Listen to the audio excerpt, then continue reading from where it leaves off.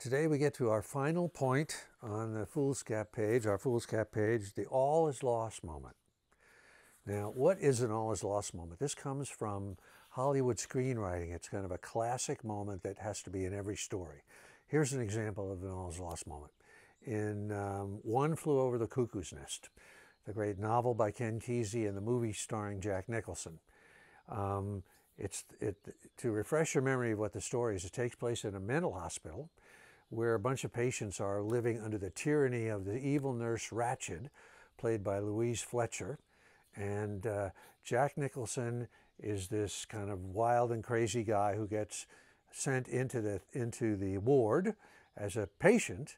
And he's enough of a rebel, keeps messing with Nurse Ratched and so on and so forth, that he gives the other patients hope that they're really going to be okay and they're not going to be you know, you know, uh, penned away forever. After one of his final sort of uh, rebellious moments, Jack Nicholson's, Nurse Ratched takes it and has him lobotomized. And the moment comes when he's wheeled into the back into the ward and with the two scars, and they realize, the patients realize that he's basically dead. And one of Jack Nicholson's friends, who's actually the uh, protagonist of the story, is an American Indian that they call the chief.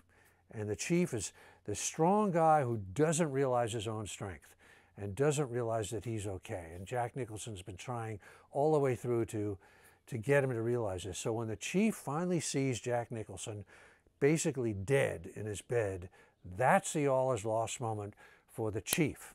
And the all is lost moment, look, in any movie, any book, anywhere, it's always there, close to the end. And the question is, how will the hero respond to this all is lost moment? And what happens with the chief is he goes through a deep, deep change. He takes a pillow and he kind of puts Jack Nicholson's character out of his misery. And then the chief himself picks up this big, heavy thing, throws it through the wall, and he escapes. So he turned the, the all is lost moment into a heroic moment. Other times, people, a uh, hero will respond to an all is lost moment by simply accepting this reality. And that can be a victory too. And other times, the hero will fail, like in the ending of Chinatown.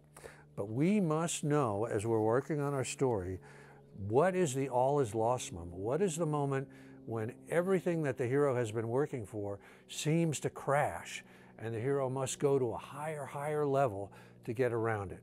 So this is our last point on number 10, and for the next two or three, I'm going to wrap this all up and show you how it all comes together in the foolscap method.